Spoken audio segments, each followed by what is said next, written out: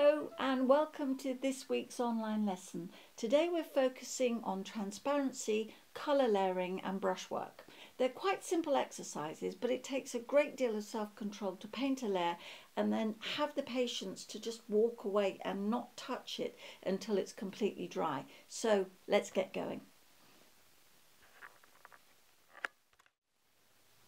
We often hear certain artists saying that they favour transparent pigments over opaque, but the truth is all watercolour paints will appear transparent if they're sufficiently diluted. So if the paints are properly diluted, skillfully applied, making sure that you don't fiddle about with them as they're drying, there's little difference between the transparents and the opaques.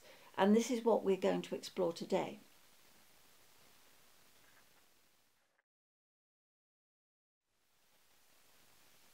Here I've mixed up Winsor Blue, that's the red shade, French Ultramarine Blue, Vermilion and Yellow Ochre. Make sure you mix up plenty of paint because you need to use exactly the same dilution for each layer, slowly building up the tone and giving a lovely tissue-like effect with the underlayer showing through as if it had been backlit I particularly chose ultramarine because it flocculates. That means it separates out as it dries and I want to see how it performed in this particular exercise. Similarly, yellow ochre is a pigment which is known to be opaque, so I wanted to see if we can make it behave like a transparent.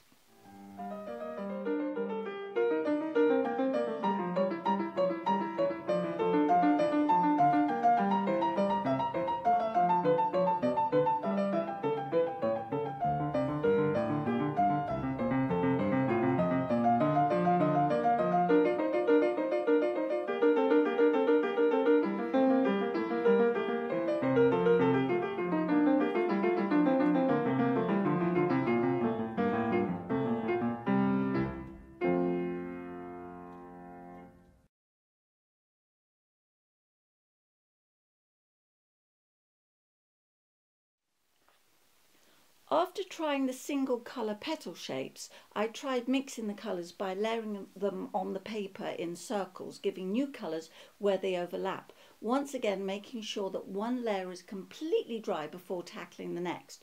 You can use any shape you like, so if you're not good at circles, any other random shape would work well.